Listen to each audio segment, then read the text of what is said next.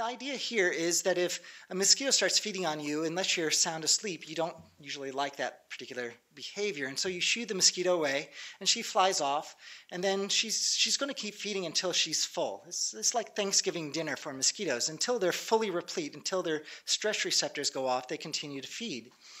And so she flies off, and she either finds somebody else to feed on, or if there's nobody else available, she lands back on you. And so this tool is essentially taking human microsatellites and applying those to that blood meal we find inside mosquitoes. And these are the same microsatellites that are used as the genetic markers for paternity testing. So they're very diverse and they tell us, actually can define individuals very easily. And essentially what we're asking is, is that the contributor, contributor to that blood meal, is it just one person or is it more than one person? Has that mosquito fed on just one person multiple times, maybe, or actually fed on one person, then flown over and fed on a second person? And we call this the, the multiple, um, multiple blood feeding index. Most importantly, that this also would suggest that these people that now are getting fed on now are probably getting fed on maybe twice as much maybe one and a half times as much. I don't really know what the number is, but these mosquitoes are now taking multiple bites off a much smaller part of the population. So a smaller part of the population is now at greater risk. But part of that population that's now at risk are also the ones that are donating parasite back to the mosquito population to, to propagate this infection to other people.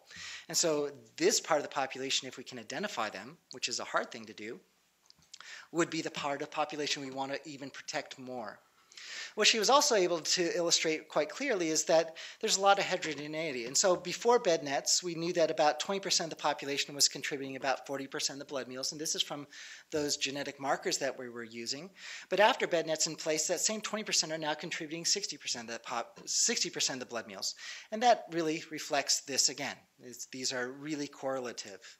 Again, some households are hot and some aren't. We found that about 20% of the households before bed nets were contributing about 74, 75% of blood meals. But now 90% of the blood meals are coming from that same 20% of households. So again, those mosquitoes are really getting focused on those people that are still exposed, that remain exposed, and that are not covered by the control measures we put in place. Another little piece of information that Smita was able to, to, to show us, and this is, um, has been submitted and hopefully will be uh, in press and published soon, was this idea of what we call fed mosquitoes. Now, all the fed mosquitoes and all the blood meal analysis I've been talking about all along was based off mosquitoes where we collected in the field, we looked at them, and we could see blood inside their abdomen. And we call those blooded mosquitoes or fed mosquitoes. And all the other mosquitoes, which we don't see blood in, we, we sort of put to the side. We don't use those for blood meal analysis usually. Uh, but Smita actually went through and she actually said, well, what actually happens to those mosquitoes? Do they actually have human DNA or host DNA in them? And so she actually assessed all of them using the molecular tools, both the, what we called the unfed and the fed mosquitoes um, from the field collections. And what she found was that actually a lot of those mosquitoes that didn't have any visible blood in them actually had evidence that they had bitten. Now we know that human DNA or host DNA only lasts for about 60 hours in mosquito gut. It gets degraded actually quite rapidly as those mosquitoes take that blood meal and produce eggs out of that blood meal. And so it doesn't last very long. And so we know that the, any DNA, host DNA that we detect in mosquitoes is from a relatively recent host exposure. And what she was able to show is that, that we actually underestimate biting rate by not looking at those unfed mosquitoes by up to a, as much as 18%.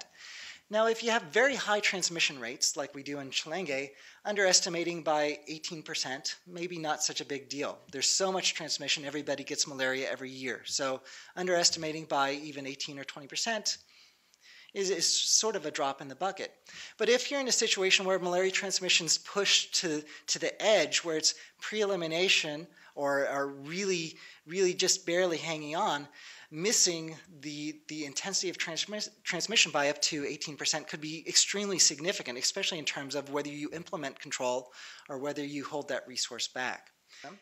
Um, and more recently, and this is a paper that actually just came out um, uh, authored by Tyler um, and many of our collaborators in Fairfax, we've been able to document the spillover of this pathogen from the original ticket came in with to other um, other ticks that, that live at the same site at the same time. So these are the dog tick that you're very familiar with, um, as well as some other ticks um, that this pathogen has now slipped over to. And it looks like it's there. It's probably there to stay. Uh, we found it in consecutive collections over at least two years and probably three years.